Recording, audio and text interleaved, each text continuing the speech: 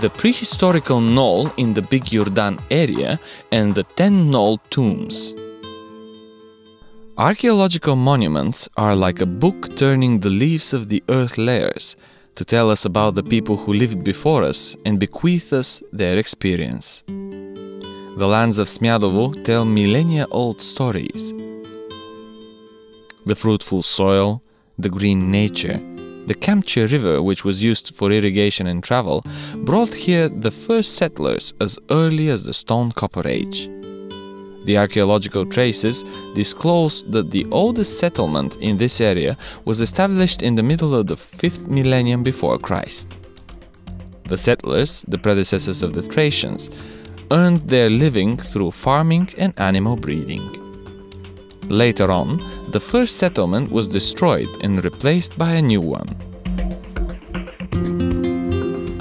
This was repeated several times until an ellipse shaped seven layer knoll formed, some six acres large. The local people call it Nazlums or Grandpa Zlatius Knoll. It is located in the Guliam Yordan area, two and a half kilometers west of Smyadovo. There, two little rivers merge and give rise to the Smyadovo River.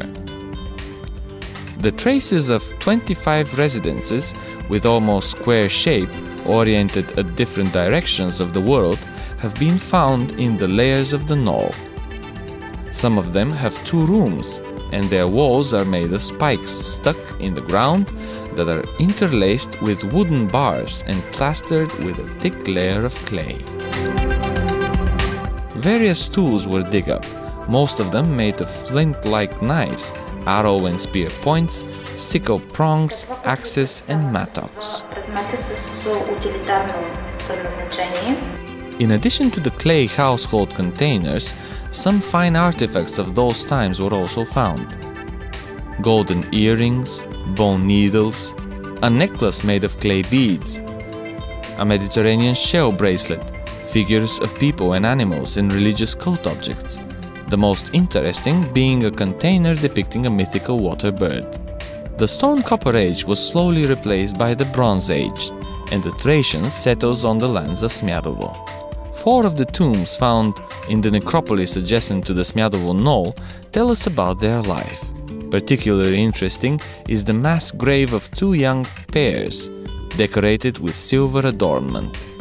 There is less archaeological evidence of the settling of the Slavs and ancient Bulgarians in the area. Partly explored is one necropolis in the Kalugira land, 3 kilometers west of the town. The specific of the funeral ritual, the process of the sepulture and the presence of the Christian basilica suggest that the funeral happened sometime around the end of the 9th or the beginning of the 10th century, straight after the christening of the Bulgarians.